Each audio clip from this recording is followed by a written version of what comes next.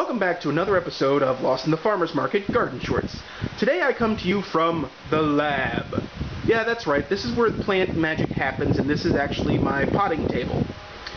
Um, you can see the soil bin and the peat pots in the background and all that stuff. Not too special, but for smaller plant specimens on this on this show, I'm actually going to be doing things from inside the lab because it's just so much easier to get things in focus and not have to be battling the mosquitoes and the sun and all that fun. Well, the plants you see before you are very special.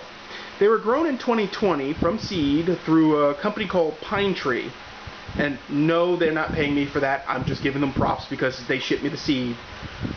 You should hit them up, though. Personal recommendation from myself to you. Well, anyway, these plants are sesame seed plants. Yeah, that's what sesame seed plants actually look like. Didn't know that, huh? Well, the variety is Sesamum indicum, Shirogoma. Now, the indicum means it's from India, and the sesame part is actually interesting. You see, sesame is the English word, but it's derived from the Greek word sesamon, which is then derived from the Semitic Akkadian word sesamu.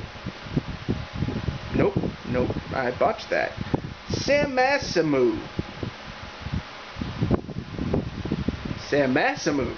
Yeah, um, that kind of sounds like a Genesis song. Sam, Sam, Masamu. Okay, I'll stop. Anyway, uh, Sesame is a hardcore annual. There's just nothing to be done about that. It lives about a year and then kaput.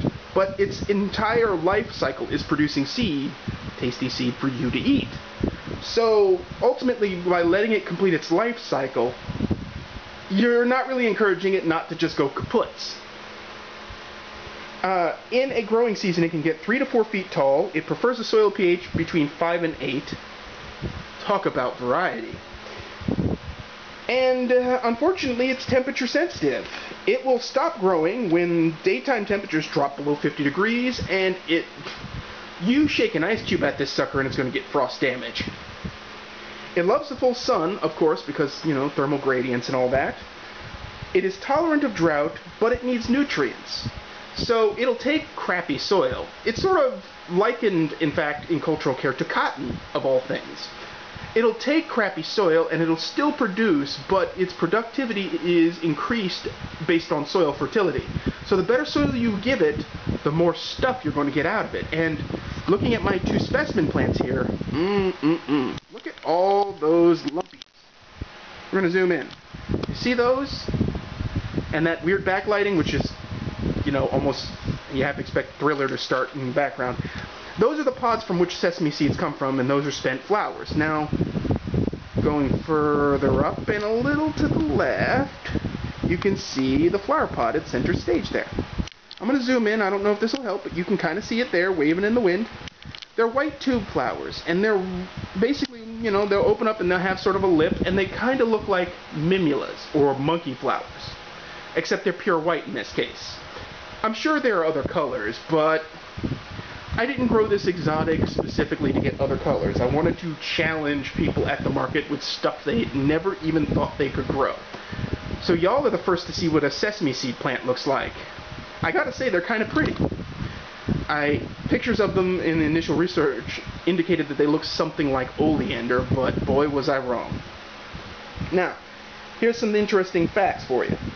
The nutritional value of sesame per teaspoon, that's 9 grams, will provide 1 milligram of sodium, 42 milligrams of potassium, 8% of your daily calcium uptake, 7% of your iron uptake, and 8% of your magnesium uptake.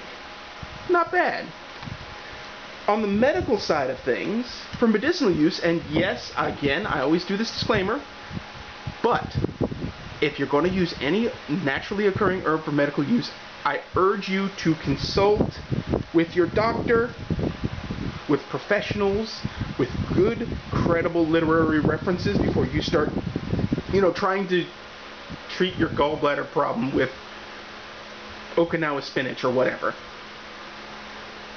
Sometimes, although it is noted to treat something, you may have an adverse reaction.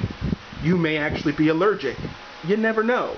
It's better to be safe than in the hospital, especially during the COVID epidemic.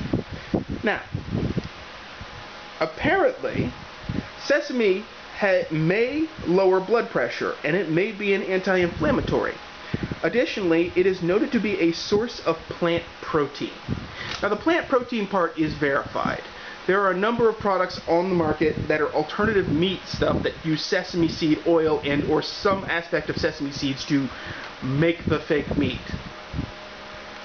If that's your ballpark, fine. I prefer the real deal, but that's just me.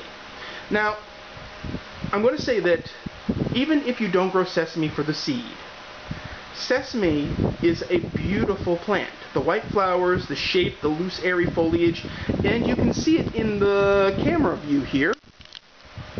The stems are fuzzy. Every part of this plant is covered with a light, fluffy hair. That's kind of neat. It's actually a passive defense against bugs and critters and stuff, which is It helps repel rain from pooling anywhere, which staves off diseases, so it's part of the plant's defensive mechanisms. With that said, though, if you like this uh, lab edition of Lost in the Farmer's Garden Shorts, let me know. I'll do other plants, small plants that I can bring in and, and talk smack about. And uh, hopefully you'll like, subscribe, maybe make some suggestions and comments or, you know, what have you. That's all I have for you today. So uh, remember, folks, keep them growing, and thank you.